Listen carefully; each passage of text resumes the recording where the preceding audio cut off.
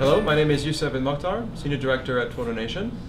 Welcome to the FotoNation Suite at uh, CES 2015. Uh, Gabby will walk you through our driver monitoring system demo.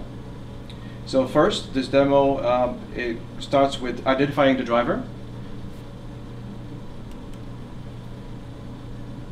And it has identified Gabby as the driver.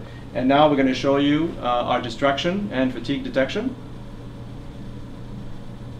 So as, as Gabby is turning his head, if it is out of the field of view, it is detected as a, an alarm.